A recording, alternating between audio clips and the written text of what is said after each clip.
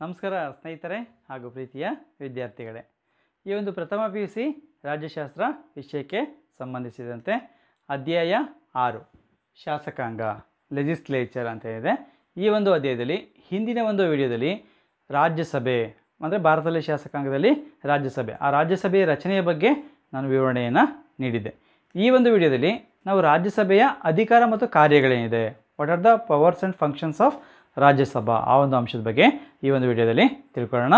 ನಾನು ನಿಮ್ಮ ಸ್ನೇಹಿತ ಸ್ವಾಮಿಗೌಡ ಎಚ್ ಕೆ, ರಾಜ್ಯಶಾಸ್ತ್ರ ಉಪನ್ಯಾಸಕನಾಗಿ ಕಾರ್ಯವನ್ನು ನಿರ್ವಹಿಸ್ತಾ ಇದ್ದೀನಿ. ಈ ಒಂದು ವಿಡಿಯೋ ನೋಡಿದ ನಂತರದಲ್ಲಿ ಈ ಒಂದು ವಿಡಿಯೋ ನಿಮಗೆ ಇಷ್ಟವಾದರೆ ಈ ಒಂದು ವಿಡಿಯೋನ ಲೈಕ್ ಮಾಡಿ, ಹಾಗೆ ನಿಮ್ಮ ಸ್ನೇಹಿತರ ಜೊತೆಯಲ್ಲಿ ಶೇರ್ ಮಾಡ್ಕೊಳ್ಳಿ, ಹಾಗೆ ಈ ಒಂದು ಚಾನಲ್ ಸಬ್ಸ್ಕ್ರೈಬ್ ಮಾಡ್ಕೊಂಡಿಲ್ಲ ಅಂದರೆ ಈ ಒಂದು ಚಾನಲ್ ಸಬ್ಸ್ಕ್ರೈಬ್ ಮಾಡ್ಕೊಳ್ಳಿ, ಹಾಗೆ ಪಕ್ಕದಲ್ಲಿರುವಂಥ ಬೆಲ್ ಬಟನ್ ಕ್ಲಿಕ್ ಮಾಡಿದರೆ ನಾನು ಮಾಡುವಂಥ ಮುಂದಿನ ಎಲ್ಲ ವಿಡಿಯೋಗಳು ನಿಮಗೆ ನೇರವಾಗಿ ಬರಲಿಕ್ಕೆ ಸಾಧ್ಯ ಆಗುತ್ತೆ ಅಂತ ಹೇಳ್ತಾ ನಾವೀಗ ನೇರವಾಗಿ ರಾಜ್ಯಸಭೆಯ ಒಂದು ಕಾರ್ಯಗಳ ಬಗ್ಗೆ ತಿಳ್ಕೊಳ್ಳೋಣ. ನೋಡಿ ಭಾರತದಲ್ಲಿ ಶಾಸಕಾಂಗ, ಅದರಲ್ಲಿ ರಾಜ್ಯಸಭೆಯ ಒಂದು ರಚನೆ ಬಗ್ಗೆ ಹಿಂದಿನ ವಿಡಿಯೋ ತಿಳ್ಕೊಂಡಿದ್ವಿ ಈಗ ರಾಜ್ಯಸಭೆ ಕಾರ್ಯಗಳೇನು, ಅಧಿಕಾರ ಮತ್ತು ಕಾರ್ಯಗಳ ಬಗ್ಗೆ ತಿಳ್ಕೊಳ್ಳೋಣ. ನಾವು ಸಂಕ್ಷಿಪ್ತವಾಗಿ ನೋಡಿದರೆ ರಾಜ್ಯಸಭೆಯ ಅಧಿಕಾರ ಮತ್ತು ಕಾರ್ಯಗಳಲ್ಲಿ ಮೊದಲನೇದು ಶಾಸನೀಯ ಕಾರ್ಯಗಳು. ಆ ಒಂದು ಲೆಜಿಸ್ಲೇಟಿವ್ ಪವರ್ಸ್ ಬಗ್ಗೆ ತಿಳ್ಕೊಳ್ತೇವೆ. ಹಾಗೆ ಎರಡನೇದು ಹಣಕಾಸಿನ ಕಾರ್ಯಗಳು. ಆ ಒಂದು ಹಣಕಾಸಿನ ಕಾರ್ಯಗಳು ಫೈನಾನ್ಷಿಯಲ್ ಪವರ್ಗಳ ಬಗ್ಗೆ ತಿಳ್ಕೊಳ್ತೇವೆ. ಹಾಗೆ ಮೂರನೇದಾಗಿ ಕಾರ್ಯಾಂಗೀಯ ಅಧಿಕಾರ ಮತ್ತು ಕಾರ್ಯಗಳು, ಅವುಗಳ ಬಗ್ಗೆ ತಿಳ್ಕೊಳ್ತೇವೆ. ಎಕ್ಸಿಕ್ಯೂಟಿವ್ ಪವರ್ ಅಥವಾ ಅಡ್ಮಿನಿಸ್ಟ್ರೇಟಿವ್ ಪವರ್ಗಳ ಬಗ್ಗೆ. ಹಾಗೆ ನಾಲ್ಕನೇದಾಗಿ ನ್ಯಾಯಿಕ ಕಾರ್ಯಗಳು ಜುಡಿಷಿಯಲ್ ಪವರ್ಸ್ ಆ್ಯಂಡ್ ಫಂಕ್ಷನ್ಸ್ಗಳ ಬಗ್ಗೆ ತಿಳ್ಕೊಳ್ತೇವೆ. ಹಾಗೆ ಐದನೇದಾಗಿ ಚುನಾವಣಾ ಕಾರ್ಯಗಳು ಎಲೆಕ್ಟರಲ್ ಒಂದು ಫಂಕ್ಷನ್ಸ್ ಬಗ್ಗೆ ತಿಳ್ಕೊಳ್ತೇವೆ. ಹಾಗೆ ಆರನೇದಾಗಿ ಈ ಒಂದು ಸಂವಿಧಾನ ತಿದ್ದುಪಡಿಯ ಒಂದು ಕಾರ್ಯಗಳು, ಆ ಒಂದು ಅಮೆಂಡ್ ಮಾಡಲಿಕ್ಕಿರುವಂಥ ಪವರ್ಸ್ ಏನಿದೆ ಅವುಗಳ ಬಗ್ಗೆ ತಿಳ್ಕೊಳ್ತೀವಿ. ಹಾಗೆ ಏಳನೇದಾಗಿ ರಾಜ್ಯಸಭೆಯ ಒಂದು ವಿಶೇಷ ಅಧಿಕಾರಗಳು, ಅದರ ವಿಶೇಷ ಒಂದು ಪವರ್ಸ್ಗಳೇನಿರ್ತವೆ ಆ ಒಂದು ಅಂಶಗಳ ಬಗ್ಗೆ ನಾವು ಈ ಒಂದು ವಿಡಿಯೋದಲ್ಲಿ ಎಲ್ಲ ಅಂಶಗಳನ್ನ ಕೂಡ ತಿಳ್ಕೊಳ್ತೇವೆ. ಅದರಲ್ಲಿ ಮೊದಲನೇದಾಗಿ ಶಾಸನೀಯ ಕಾರ್ಯಗಳು ಲೆಜಿಸ್ಲೇಟಿವ್ ಫಂಕ್ಷನ್ಸ್ ಅಂತ ಇದೆ. ಈ ಒಂದು ಫಂಕ್ಷನ್ಸ್ ಆ್ಯಂಡ್ ಪವರ್ಸ್ಗಳನ್ನ ತಿಳ್ಕೊಳ್ಳೋಣ. ನೋಡಿ, ಶಾಸನೀಯ ಕಾರ್ಯಗಳು ಅಂದಾಗ ಸಂಸತ್ತಿನ ಒಂದು ಕಾರ್ಯವೇ ಶಾಸನಗಳನ್ನ ರೂಪಿಸುವಂಥದ್ದು. ಏಕೆಂದರೆ ಅದು ಕೇಂದ್ರ ಶಾಸಕಾಂಗ ಕಾರ್ಯನಿರ್ವಹಿಸುತ್ತೆ. ಅದರ ಕೆಲಸವೇ ಕೇಂದ್ರ ಪಟ್ಟಿ ಮತ್ತು ಸಮವರ್ತಿ ಪಟ್ಟಿಯಲ್ಲಿ ಬರುವಂಥ ವಿಷಯಗಳ ಬಗ್ಗೆ ಶಾಸನಗಳು ರೂಪಿಸುವಂಥ ಅಧಿಕಾರವನ್ನು ಸಂಸತ್ತು ಹೊಂದಿರುತ್ತೆ. ಹಾಗಾಗಿ ಆ ಒಂದು ಭಾಗವಾಗಿ ರಾಜ್ಯಸಭೆ ಕೂಡ ಶಾಸನೀಯ ಅಧಿಕಾರಗಳನ್ನ ಹೊಂದಿರುತ್ತದನ್ನು ಗಮನಿಸ್ತೇವೆ. ಅದು ಇಡೀ ದೇಶಕ್ಕೆ ಬೇಕಾದಂಥ ಒಂದು ಶಾಸನಗಳನ್ನ ರೂಪಿಸುವಂಥ ಕಾರ್ಯವನ್ನು ರಾಜ್ಯಸಭೆ ಮತ್ತು ಲೋಕಸಭೆಗಳು ಎರಡೂ ಒಟ್ಟಿಗೆ ಸೇರಿಕೊಂಡು ಆ ಕೆಲಸವನ್ನು ಮಾಡ್ತವೆ. ಹಾಗಾಗಿ ರಾಜ್ಯಸಭೆಯು ಕೂಡ ಶಾಸನೀಯ ಅಧಿಕಾರಗಳನ್ನ ಹೊಂದಿರೋದನ್ನು ನಾವು ಗಮನಿಸ್ತೇವೆ. ಶಾಸನೀಯ ಅಧಿಕಾರಗಳಿಗೆ ಬಂದಾಗ ಲೋಕಸಭೆ, ರಾಜ್ಯಸಭೆಗಿಂತ ಸ್ವಲ್ಪ ಹೆಚ್ಚಿನ ಶಾಸನೀಯ ಅಧಿಕಾರಗಳನ್ನ ಹೊಂದಿರುವಂಥ ಅಂಶವನ್ನು ಕೂಡ ನಾವು ಗಮನಿಸ್ಬೋದು ಹೋಲಿಕಾತ್ಮಕವಾಗಿ ನೋಡಿದಾಗ. ಆದರೆ ರಾಜ್ಯಸಭೆಯು ಕೂಡ ಕೆಲವಾರು ಶಾಸನೀಯ ಅಧಿಕಾರಗಳನ್ನ ಹೊಂದಿರುವಂಥ ಅಂಶವನ್ನು ನಾವು ಗಮನಿಸ್ತೇವೆ. ನೋಡಿ, ಭಾರತ ಸಂವಿಧಾನದ ನೂರ ಏಳನೇ ಒಂದು ವಿಧಿಯ ಪ್ರಕಾರ ಹಣಕಾಸು ಮಸೂದೆಗಳನ್ನ ಬಿಟ್ಟು ಸಾಮಾನ್ಯ ಮಸೂದೆಗಳನ್ನು ರಾಜ್ಯಸಭೆಯಲ್ಲೂ ಮಂಡಿಸ್ಬೋದು ಅನ್ನೋ ಅಂಶವನ್ನು ಗಮನಿಸ್ತೇವೆ. ನೋಡಿ, ಈ ಒಂದು ಕಾಯ್ದೆಗಳನ್ನ ನಡೆಸುವಾಗ ಲೋಕಸಭೆಗೆ ಇರುವಂಥ ಸಮಾನ ಅಧಿಕಾರ ರಾಜ್ಯಸಭೆಗೂ ಕೂಡ ಇರುತ್ತೆ. ಆದರೆ ಅದು ಮುಂದೆ ಹೇಳ್ತೀನಿ, ಒಂದು ಸ್ವಲ್ಪ ಹೆಚ್ಚಿನ ಅಧಿಕಾರ ಲೋಕಸಭೆ ಹೊಂದಿರುವಂಥದ್ದನ್ನು.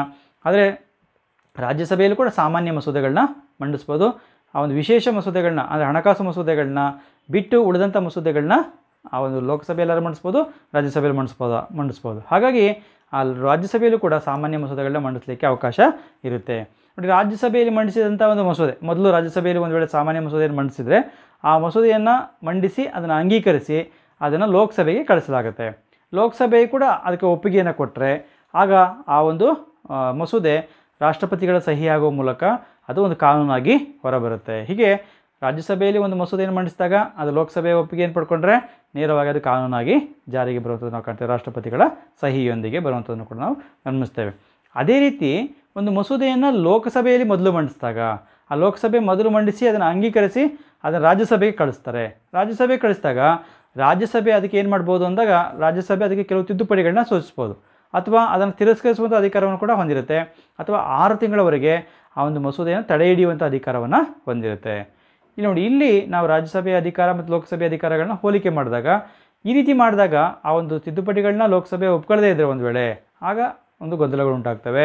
ಹಾಗೆ ಆರು ತಿಂಗಳ ನಂತರ ಕೂಡ ಅದನ್ನು ಹಾಗೇ ಇಟ್ಕೊಂಡ್ರೆ ಅದ್ರ ಬಗ್ಗೆ ಏನು ತನ್ನ ಅಭಿಪ್ರಾಯವನ್ನು ವ್ಯಕ್ತಪಡಿಸ್ತದೆ, ಅದನ್ನು ಒಪ್ಪಿಗೆ ಕೊಡೋದನ್ನು ಹಾಗೆ ಇಟ್ಕೊಂಡಾಗ ಆಗ ಆ ಒಂದು ಎರಡು ಸದನಗಳ ನಡುವೆ ಒಂದು ಭಿನ್ನಾಭಿಪ್ರಾಯಗಳು ಉಂಟಾಗುತ್ತೆ. ಆಗ ಸಂವಿಧಾನದ ನೂರ ಎಂಟನೇ ವಿಧಿ ಅನ್ವಯ ಭಾರತ ರಾಷ್ಟ್ರಪತಿಗಳು ಆ ಒಂದು ಸಂಸತ್ತಿನ ಜಂಟಿ ಒಂದು ಸದನವನ್ನು ಕರೀತಾರೆ. ಜಂಟಿ ಅಧಿವೇ ಒಂದು ಒಂದು ಸಿಟ್ಟಿಂಗ್ಸ್ ಅಂತ ನಾವು ಅದನ್ನು ಕರಿತೇವೆ.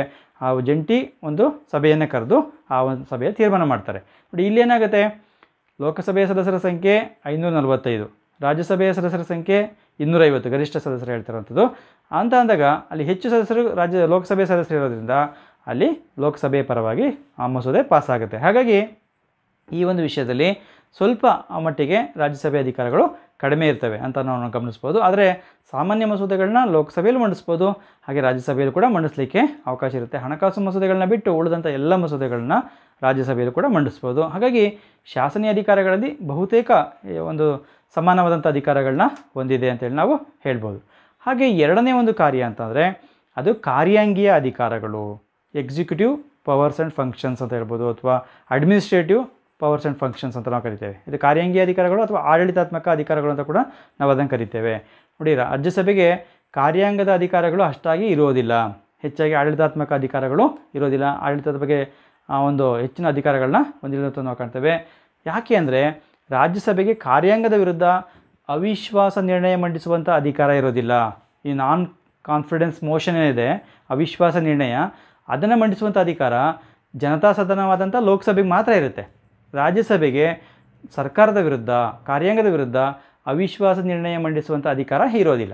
ಹೀಗಾಗಿ ಆ ಒಂದು ಕಾರ್ಯಾಂಗೀಯ ಅಧಿಕಾರಗಳಲ್ಲಿ, ಆಡಳಿತಾತ್ಮಕ ಅಧಿಕಾರಗಳಲ್ಲಿ ರಾಜ್ಯಸಭೆಗೆ ಕಡಿಮೆ ಅಧಿಕಾರಗಳಿರುವಂಥ ಅಂಶವನ್ನು ನಾವು ಗಮನಿಸ್ತೇವೆ. ಸರ್ಕಾರದ ಮೇಲೆ ಲೋಕಸಭೆಗೆ ಇರುವಷ್ಟು ಅಧಿಕಾರ ರಾಜ್ಯಸಭೆಗೆ ಇರೋದಿಲ್ಲ ಎಂಬಂಥ ಅಂಶವನ್ನು ಕೂಡ ಗಮನಿಸ್ತೇವೆ. ಆದರೆ ಸರ್ಕಾರದ ವೈಫಲ್ಯಗಳನ್ನು, ಸರ್ಕಾರದ ಒಂದು ನೀತಿಗಳೇನಿದೆ, ನಿಯಮಗಳಿದೆ, ಧೋರಣೆಗಳೇನಿರ್ತವೆ, ಅವುಗಳನ್ನ ಸದನದಲ್ಲಿ ಚರ್ಚೆ ಮಾಡುವಂಥ ಅಧಿಕಾರವನ್ನು ಇರುತ್ತೆ ಹಾಗೆ ಸದನದಲ್ಲಿ ಅವುಗಳು ತಪ್ಪಾಗಿದ್ದಾಗ ಅವುಗಳನ್ನು ಟೀಕಿಸುವಂಥ ಅಧಿಕಾರವನ್ನು ರಾಜ್ಯಸಭೆ ಹೊಂದಿರುತ್ತೆ. ಆ ಮೂಲಕ ಸರ್ಕಾರವನ್ನು ಸರಿದಾರಿಗೆ ತರುವಂಥ ಕಾರ್ಯವನ್ನು ರಾಜ್ಯಸಭೆ ಮಾಡುತ್ತೆ. ಹಾಗಾಗಿ ಅದಕ್ಕೆ ಸರ್ಕಾರದ ವಿರುದ್ಧ ಅವಿಶ್ವಾಸ ನಿರ್ಣಯ ಮಂಡಿಸುವಂಥ ಅಧಿಕಾರ ಇಲ್ಲದಿದ್ದರೂ ಕೂಡ ಸರ್ಕಾರದ ವೈಫಲ್ಯಗಳನ್ನು, ನೀತಿ ಧೋರಣೆಗಳನ್ನ, ಕೆಟ್ಟ ನೀತಿಗಳ ಧೋರಣೆಗಳನ್ನ ಟೀಕಿಸುವ ಮೂಲಕ, ಚರ್ಚಿಸುವ ಮೂಲಕ ಸರ್ಕಾರದ ಮೇಲೆ ನಿಯಂತ್ರಣವನ್ನು ಸಾಧಿಸುವಂಥ ಕಾರ್ಯವನ್ನು ಮಾಡುವಂಥದ್ದು ನಾವು ಗಮನಿಸ್ತೇವೆ. ರಾಷ್ಟ್ರದ ಹಾಗೂ, ರಾಜ್ಯದ ಆಡಳಿತಾತ್ಮಕ ವಿಚಾರಗಳಿಗೆ ಸಂಬಂಧಿಸಿದಂತೆ ಆ ಒಂದು ರಾಜ್ಯಸಭೆಯಲ್ಲಿ ಸದನದ ಒಂದು ಸದಸ್ಯರು ಸರ್ಕಾರಕ್ಕೆ ಪ್ರಶ್ನೆಗಳನ್ನ ಹಾಕ್ಬೋದು. ಕಾರ್ಯಾಂಗಕ್ಕೆ ಒಂದು ಪ್ರಶ್ನೆಗಳನ್ನ ಕೇಳುವಂಥ ಮೂಲಕ, ಅಂದರೆ ಮಂತ್ರಿಗಳಿಗೆ ಪ್ರಶ್ನೆಗಳನ್ನ ಕೇಳುವ ಮೂಲಕ ಸಂಬಂಧಪಟ್ಟಂಥ ಸಚಿವರುಗಳಿಂದ ವಿವರಣೆಯನ್ನು ಪಡಿಬೋದು. ಹಾಗೆ ಆ ಒಂದು ಅವ್ರು ನೀಡಿದಂಥ ಒಂದು ಉತ್ತರಗಳು ಸಮಂಜಸ ಆಗಿಲ್ಲ ಅಂದಾಗೆ ಅದಕ್ಕೆ ಉಪ ಪ್ರಶ್ನೆಗಳನ್ನು ಕೂಡ ಹಾಕಿ ಉತ್ತರವನ್ನು ಪಡ್ಕೊಳ್ಳಿಕ್ಕೆ ಅವಕಾಶ ಇರುತ್ತೆ ನಾವು ಗಮನಿಸ್ತೇವೆ ಈ ರೀತಿ ರಾಜ್ಯಸಭೆಯ ಒಂದು ಸದಸ್ಯರು ಆಡಳಿತದ ಮೇಲೆ ನೇರ ನಿಯಂತ್ರಣದ ಮೇಲೆ ಕಾರ್ಯಾಂಗದ ಮೇಲೆ ಹೊಂದಿಲ್ಲದೇ ಇದ್ದರೂ ಕೂಡ ಅವರು ಸದನದಲ್ಲಿ ಚರ್ಚಿಸುವ ಮೂಲಕ, ಟೀಕಿಸುವ ಮೂಲಕ, ಹಾಗೆ ತಮಗೆ ಬೇಕಾದಂಥ ಉತ್ತರಗಳನ್ನ ಪಡೆಯುವ ಮೂಲಕ, ಹಾಗೆ ಗ ಕೆಲವಾರು ಒಂದು ನಿರ್ಣಯಗಳನ್ನ ಕೈಗೊಳ್ಳುವ ಮೂಲಕ ಸರ್ಕಾರದ ಮೇಲೆ ಒಂದು ನಿಯಂತ್ರಣವನ್ನು, ಕಾರ್ಯಾಂಗದ ಮೇಲೆ ನಿಯಂತ್ರಣವನ್ನು ಇರುವಂಥದ್ದು ನಾವು ಕಾಣ್ತೀವಿ. ಇವುಗಳಿಷ್ಟು ಕಾರ್ಯಾಂಗೀಯ ಅಧಿಕಾರಗಳು. ಆದರೆ ಹೆಚ್ಚಿನ ಅಧಿಕಾರಗಳು ಅವರಿಗೆ ಇರೋದಿಲ್ಲ ಅನ್ನೋ ಅಂಶವನ್ನು ನಾವು ಇಲ್ಲಿ ಗಮನಿಸಬೇಕಾಗುತ್ತೆ. ಹಾಗೆ ಜೊತೆಗೆ ರಾಜ್ಯಸಭೆ ಸದಸ್ಯರು ಮಂತ್ರಿಮಂಡಲದ್ದು ಕೂಡ ಸ್ಥಾನ ಪಡೆಯಲಿಕ್ಕೆ ಅವಕಾಶ ಇರುತ್ತೆ. ಅವರು ಕೂಡ ಕೇಂದ್ರದ ಒಂದು ಮಂತ್ರಿಗಳಾಗಿ ಕಾರ್ಯನಿರ್ವಹಿಸುವಂಥ ಅವಕಾಶವನ್ನು ಹೊಂದಿರ್ತಾರೆ. ಹಾಗೆ ಎಷ್ಟೋ ಸಂದರ್ಭಗಳಲ್ಲಿ ನಾವು ರಾಜ್ಯಸಭೆಯ ಸದಸ್ಯರೇ ಪ್ರಧಾನಮಂತ್ರಿಗಳಾಗಿ ಕಾರ್ಯನಿರ್ವಹಿಸುವಂಥ ಅಂಶವನ್ನು ಕೂಡ ನಾವು ಗಮನಿಸ್ಬೋದು. ಹಾಗಾಗಿ ರಾಜ್ಯಸಭೆ ಸದ ಉದಾಹರಣೆಗೆ ನಾವು ಮನಮೋಹನ್ ಸಿಂಗ್ ಅವರು ನೋಡ್ಬೋದು. ಹಾಗೆ ದೇವೇಗೌಡರು ಕೂಡ ಪ್ರಧಾನಮಂತ್ರಿಯಾದ ಸಂದರ್ಭದಲ್ಲಿ ಅವರು ರಾಜ್ಯಸಭೆ ಸದಸ್ಯರಾಗಿದ್ದಂಥದ್ದು ನಾವು ಗಮನಿಸ್ತೇವೆ. ಹಾಗಾಗಿ ಅಲ್ಲಿರುವಂಥವರು ಆ ಒಂದು ಪ್ರಧಾನಮಂತ್ರಿಗಳು ಆಗ್ಬೋದು, ಮಂತ್ರಿಗಳು ಆಗಲಿಕ್ಕೆ ಅವಕಾಶ ಇರುತ್ತೆ ಎನ್ನೋ ಅಂಶವನ್ನು ನಾವಿಲ್ಲಿ ತಿಳ್ಕೊಂಡಿರಬೇಕಾಗತ್ತೆ. ಇದಿಷ್ಟು ಕಾರ್ಯಾಂಗಿ ಅಧಿಕಾರಗಳ ಬಗ್ಗೆ ಸಂಕ್ಷಿಪ್ತ ಒಂದು ವಿವರಣೆ. ಹಾಗೆ ಮೂರನೇ ಒಂದು ಅಧಿಕಾರ ಅಂದರೆ ಹಣಕಾಸಿನ ಅಧಿಕಾರಗಳು ಫೈನಾನ್ಷಿಯಲ್ ಪವರ್ಸ್ ಆ್ಯಂಡ್ ಫಂಕ್ಷನ್ಸ್ ನಾವು ತಿಳ್ಕೊಳ್ತೇವೆ. ನೋಡಿ, ಸಂವಿಧಾನದ ನೂರ ಒಂಬತ್ತು ಒಂದನೇ ವಿಧಿಯನ್ವಯ ಹಣಕಾಸು ಮಸೂದೆಯನ್ನು ಮೊದಲು ರಾಜ್ಯಸಭೆಯಲ್ಲಿ ಮಂಡಿಸುವಂತಿಲ್ಲ. ಈ ಒಂದು ಫೈನಾನ್ಷಿಯಲ್ ಬಿಲ್ ಏನಿರುತ್ತೆ, ಆ ಒಂದು ಹಣಕಾಸು ಮಸೂದೆ ಅಥವಾ ಬಜೆಟ್ ಏನಿರುತ್ತೆ, ಆ ಒಂದು ಬಜೆಟ್ಗಳನ್ನ ಅದನ್ನು ಮೊದಲು ರಾಜ್ಯಸಭೆಯಲ್ಲಿ ಮಂಡಿಸಲಿಕ್ಕೆ ಅವಕಾಶ ಇಲ್ಲ ಎಂಬಂಥ ಅಂಶವನ್ನು ಸಂವಿಧಾನದ ನೂರ ಒಂಬತ್ತು ಒಂದನೇ ವಿಧಿಯಲ್ಲಿ ತಿಳ್ಸ್ಕೊಂತ ನಾವು ಕಾಣ್ತೇವೆ. ಅದನ್ನು ಹಣಕಾಸು ಮಸೂದೆಗಳನ್ನ, ಆಯವ್ಯಯನ ಮೊದಲು ಲೋಕಸಭೆಯಲ್ಲೇ ಮಂಡಿಸಬೇಕು. ಏಕೆಂದರೆ ಅದು ಜನತಾ ಸದನ ಆಗಿರುತ್ತೆ, ಅಲ್ಲೇ ಮಂಡಿಸಬೇಕೆಂಬಂಥ ನಿಯಮ ಇರುವಂಥದ್ದನ್ನು ನಾವು ಗಮನಿಸ್ತೇವೆ. ಲೋಕಸಭೆಯಲ್ಲಿ ಹಣಕಾಸು ಮಸೂದೆಯನ್ನು ಮಂಡಿಸಿ, ಅದನ್ನು ಚರ್ಚಿಸಿ ಅಂಗೀಕರಿಸಿದ ಮೇಲೆ ಅದನ್ನು ರಾಜ್ಯಸಭೆಗೆ ಒಪ್ಪಿಗೆಗೆ ಕಳಿಸಲಾಗುತ್ತೆ. ರಾಜ್ಯಸಭೆಗೆ ಒಪ್ಪಿಗೆಗೆ ಬಂದಾಗ ರಾಜ್ಯಸಭೆ ಆ ಒಂದು ತಿದ್ದುಪಡಿಗಳನ್ನ ಪ್ರಸ್ತಾಪಿಸ್ಬೋದು. ಅದಕ್ಕೆ ಹಣಕಾಸು ಮಸೂದೆಗಳಿಗೆ ಅಥವಾ ಬಜೆಟ್ಗೆ ಕೆಲವು ತಿದ್ದುಪಡಿಗಳನ್ನ ಪ್ರಸ್ತಾಪಿಸ್ಬೋದು. ಆ ತಿದ್ದುಪಡಿಗಳು ಪ್ರಸ್ತಾ, ಪ್ರಸ್ತಾಪಿಸುವಂಥ ಅಧಿಕಾರವನ್ನು ಆ ಒಂದು ಅಧಿಕಾರವನ್ನು ಏನೊಂದಿರುತ್ತೆ ಅದನ್ನು ಲೋಕಸಭೆ ಒಪ್ಪೋದು ಅಥವಾ ಬಿಡ್ಬೋದು. ಹಾಗೆ ರಾಜ್ಯಸಭೆ, ರಾಜ್ಯಸಭೆಗೆ ಬಂದಂಥ ಹಣಕಾಸು ಮಸೂದೆಗಳನ್ನ ಅಥವಾ ಬಜೆಟನ್ನು ಹದಿನಾಲ್ಕು ದಿನಗಳವರೆಗೆ ತಡೆ ಹಿಡಿಲಿಕ್ಕೆ ಮಾತ್ರ ರಾಜ್ಯಸಭೆಗೆ ಅಧಿಕಾರ ಇರುತ್ತೆ. ಒಂದು ವೇಳೆ ಹದಿನಾಲ್ಕು ದಿನಗಳ ಒಳಗೆ ಅದಕ್ಕೆ ಒಪ್ಪಿಗೆನೇ ಕೊಡಲಿಲ್ಲ ಅಂತಂದರೆ ಅದು ಎರಡೂ ಸದನಗಳಿಂದ, ನೋಡಿ ಲೋಕಸಭೆಯಿಂದ ಅಂಗೀಕಾರವಂತ ಬಂದಂಥ ಹಣಕಾಸು ಮಸೂದೆಗಳು, ಆ ಒಂದು ಲೋ ರಾಜ್ಯಸಭೆಗೆ ಬಂದಾಗ ಹದಿನಾಲ್ಕು ದಿನಗಳ ಒಳಗೆ ಒಪ್ಪಿಗೆಯನ್ನು ಕೊಡಬೇಕಾಗತ್ತೆ. ಒಂದು ವೇಳೆ ಒಪ್ಪಿಗೆ ಕೊಡಲಿಲ್ಲ ಅಂತಂದರೆ ಎರಡೂ ಸದನಗಳಿಂದ ಅಂಗೀಕಾರವಾಗಿದೆ ಅಂಥೇಳಿ ತೀರ್ಮಾನಕ್ಕೆ ಬಂದು ಮಸೂದೆಯನ್ನು ರಾಷ್ಟ್ರಪತಿಗಳ ಸಹಿಗಾಗಿ, ಒಪ್ಪಿಗೆಗಾಗಿ ಕಳಿಸಲಾಗುತ್ತೆ.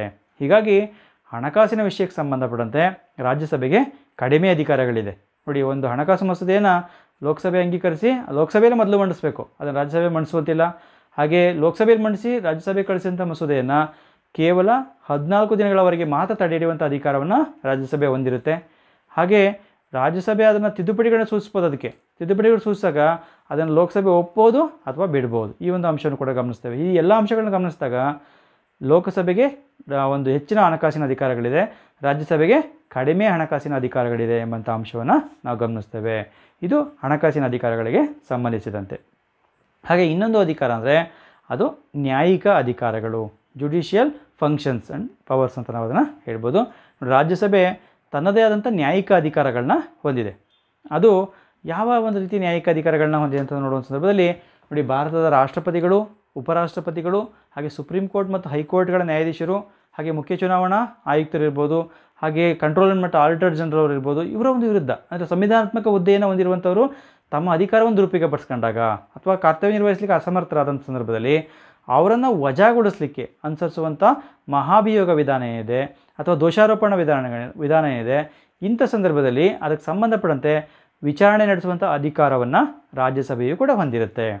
ರಾಷ್ಟ್ರಪತಿಗಳು, ಉಪರಾಷ್ಟ್ರಪತಿಗಳು ಹಾಗೆ ಒಂದು ಸಂವಿಧಾನಾತ್ಮಕ ಹುದ್ದೆಯನ್ನು ಹೊಂದಿರುವಂಥ ಇತರ ಒಂದು ಹುದ್ದೆಗಳೇನು ಹೇಳಿದೆ ಅವರೆಲ್ಲರ ವಿರುದ್ಧ ಒಂದು ದೋಷಾರೋಪಣ ನಿರ್ಣಯ ಬಂದಾಗ ಅದರ ಬಗ್ಗೆ ವಿಚಾರಣೆ ಮಾಡುವಂಥ ಅಧಿಕಾರವನ್ನು ರಾಜ್ಯಸಭೆಯು ಕೂಡ ಹೊಂದಿರುವಂಥದ್ದು ನಾವು ಗಮನಿಸ್ತೇವೆ. ಹಾಗಾಗಿ ಅದು ಕೆಲವು ನ್ಯಾಯಿಕ ಅಧಿಕಾರಗಳನ್ನು ಹೊಂದಿದೆ. ಅವರನ್ನು ನಿರ್ಣಯವನ್ನು ಅಂಗೀಕರಿಸಿ ಲೋಕಸಭೆಯು ಕೂಡ ಒಪ್ಕೊಂಡ್ರೆ ಅವರನ್ನು ವಜಾಗೊಳಿಸಲಿಕ್ಕೆ ಅವಕಾಶ ಇರುತ್ತೆ. ಹಾಗೆ ಐದನೇ ಒಂದು ಅಧಿಕಾರ ಅಂತಂದರೆ ಅದು ಚುನಾವಣೆಯ ಅಧಿಕಾರ ಮತ್ತು ಕಾರ್ಯಗಳು ಎಲೆಕ್ಟ್ರೋಲ್ ಫಂಕ್ಷನ್ಸ್ ಅಂತ ನಾವು ಕರಿತೇವೆ. ನೋಡಿ, ರಾಜ್ಯಸಭೆಯ ಸದಸ್ಯರು ಅದರಲ್ಲಿ ವಿಶೇಷ ಗಮನಿಸ್ಕೋಬೇಕಿಲ್ಲಿ. ರಾಜ್ಯಸಭೆಯ ಸದಸ್ಯರು ರಾಜ್ಯಸಭೆಯ ಚುನಾಯಿತ ಸದಸ್ಯರು, ಉಪರಾಷ್ಟ್ರ, ರಾಷ್ಟ್ರಪತಿಗಳ ಚುನಾವಣೆಯಲ್ಲಿ ಮತ ಚಲಾಯಿಸುವಂಥ ಅಧಿಕಾರವನ್ನು ಹೊಂದಿರ್ತಾರೆ. ರಾಜ್ಯಸಭೆಯ ಚುನಾಯಿತ ಸದಸ್ಯರು ಮಾತ್ರ ರಾಷ್ಟ್ರಪತಿಗಳ ಚುನಾವಣೆಯಲ್ಲಿ ಮತ ಚಲಾಯಿಸುವಂಥ ಅಧಿ- ಅಧಿಕಾರವನ್ನು ಹೊಂದಿರ್ತಾರೆ. ಹಾಗೆ ರಾಜ್ಯಸಭೆಯ ಎಲ್ಲ ಸದಸ್ಯರು ಉಪರಾಷ್ಟ್ರಪತಿಗಳ ಚುನಾವಣೆಯಲ್ಲಿ ಮತ ಚಲಾಯಿಸುವಂಥ ಅಧಿಕಾರವನ್ನು ಹೊಂದಿರ್ತಾರೆ. ಹಾಗಾಗಿ ಅವರಿಗೆ ಚುನಾವಣೆಯ ಅಧಿಕಾರಗಳಿರುತ್ತೆ. ರಾಷ್ಟ್ರಪತಿ ಮತ್ತು ಉಪರಾಷ್ಟ್ರಪತಿಯನ್ನು ಚುನಾಯಿಸುವಂಥ ಅಧಿಕಾರವನ್ನು ಹೊಂದಿರುವಂಥದ್ದು ನಾವು ಗಮನಿಸ್ತೇವೆ. ಆ ಒಂದು ಚುನಾವಣೆಗಳಲ್ಲಿ ಭಾಗವಹಿಸಿ ಮತದಾನ ಮಾಡುವಂಥ ಅಧಿಕಾರವನ್ನು ಅವರು ಹೊಂದಿರ್ತಾರೆ. ಅಲ್ಲಿ ಡಿಫ್ರೆನ್ಷಿಯೇಟ್ ಮಾಡ್ಕೋಬೇಕಾಗುತ್ತೆ. ರಾಷ್ಟ್ರಪತಿಗಳ ಚುನಾವಣೆಯಲ್ಲಿ ರಾಜ್ಯಸಭೆಯ ಚುನಾಯಿತ ಸದಸ್ಯರು ಮಾತ್ರ ಭಾಗವಹಿಸ್ತಾರೆ. ಉಪರಾಷ್ಟ್ರಪತಿಗಳ ಚುನಾವಣೆಯಲ್ಲಿ ರಾಜ್ಯಸಭೆಯ ಎಲ್ಲ ಸದಸ್ಯರು ಕೂಡ ಮತ ಹಾಕುವಂಥ ಅಧಿಕಾರವನ್ನು ಹೊಂದಿರ್ತಾರೆ. ಹಾಗೆ ಇನ್ನೊಂದು ಚುನಾವಣೆಯ ಅಧಿಕಾರ ಅಂದರೆ ಸದನದ ಸದಸ್ಯರು ತಮ್ಮಲ್ಲೇ ಒಬ್ಬರನ್ನು ಉಪಸಭಾಧ್ಯಕ್ಷರನ್ನಾಗಿ ಆಯ್ಕೆ ಮಾಡಿಕೊಳ್ಳುವಂಥ ಅಧಿಕಾರವನ್ನು ಹೊಂದಿರ್ತಾರೆ. ಇದು ಕೂಡ ಅವರ ಒಂದು ಚುನಾವಣೆಯ ಅಧಿಕಾರಗಳಲ್ಲಿ ನಾವು ಗಮನಿಸಬೇಕಾಗುತ್ತೆ. ಹಾಗೆ ಆರನೇ ಒಂದು ಅಧಿಕಾರ ಅಂದರೆ ಸಂವಿಧಾನ ತಿದ್ದುಪಡಿಯ ಕಾರ್ಯಗಳು ಅಥವಾ ಅಧಿಕಾರಗಳು ಕಾನ್ಸ್ಟಿಟ್ಯೂಷನಲ್ ಅಮೆಂಡ್ಮೆಂಟ್ ಫಂಕ್ಷನ್ಸ್ ಅಂತ ನಾವು ಅದನ್ನು ಹೇಳ್ತೇವೆ. ನೋಡಿ, ರಾಜ್ಯಸಭೆಯ ಒಂದು ಸದಸ್ಯರೇನಿರ್ತಾರೆ ಸಂವಿಧಾನ ತಿದ್ದುಪಡಿಯ ಒಂದು ಮಾಡುವಲ್ಲಿ ಲೋಕಸಭೆಯಷ್ಟೇ ಸಮಾನವಾದಂಥ ಅಧಿಕಾರಗಳನ್ನ ರಾಜ್ಯಸಭೆ ಹೊಂದಿರುವಂಥದ್ದು ನಾವು ಗಮನಿಸ್ತೇವೆ. ಈ ಒಂದು ವಿಷಯದಲ್ಲಿ ಲೋಕಸಭೆ ಮತ್ತು ರಾಜ್ಯಸಭೆ ಎರಡೂ ಕೂಡ ಸಮಾನವಾದಂಥ ಅಧಿಕಾರಗಳನ್ನ ಹೊಂದಿರುವಂಥದ್ದು ನಾವು ಗಮನಿಸ್ತೇವೆ. ಒಂದು ಸಂವಿಧಾನ ತಿದ್ದುಪಡಿ ಮಸೂದೆಯನ್ನು ಯಾವ ಸದನದಲ್ಲಿ ಬೇಕಾದ್ರೂ ಮಂಡಿಸ್ಬೋದು. ಲೋಕಸಭೆಯಲ್ಲಿ ಬೇಕಾದ್ರೂ ಮಂಡಿಸ್ಬೋದು ಅಥವಾ ರಾಜ್ಯಸಭೆಯಲ್ಲಿ ಬೇಕಾದ್ರೂ ಕೂಡ ಮಂಡಿಸಲಿಕ್ಕೆ ಅವಕಾಶ ಇರುವಂಥ ಅಂಶವನ್ನು ನಾವು ಗಮನಿಸ್ತೇವೆ. ಒಂದು ವೇಳೆ ಲೋಕಸಭೆಯಲ್ಲಿ ಮಂಡನೆ ಆದರೆ ಮಸೂದೆ ಮೊದಲು, ಅದು ರಾಜ್ಯಸಭೆಗೆ ಬಂದಾಗ ರಾಜ್ಯಸಭೆ ಒಪ್ಪಿಗೆ ಕೊಡ್ಬೋದು ಅಥವಾ ತಿರಸ್ಕರಿಸ್ಬೋದು. ಒಂದು ವೇಳೆ ರಾಜ್ಯಸಭೆ ಒಪ್ಪಿಗೆ ಕೊಡಲಿಲ್ಲ ಅಂದರೆ ಆ ಮಸೂದೆ ಅಲ್ಲಿಗೆ ನನ್ನ ಅಂತ್ಯವನ್ನು ಕಾಣುತ್ತೆ. ಹಾಗಾಗಿ ರಾಜ್ಯಸಭೆ ಈ ಒಂದು ವಿಷಯದಲ್ಲಿ ಸಮಾನ ಅಧಿಕಾರವನ್ನು ಹೊಂದಿರುತ್ತದೆ ನಾವು ಕಾಣ್ತೇವೆ.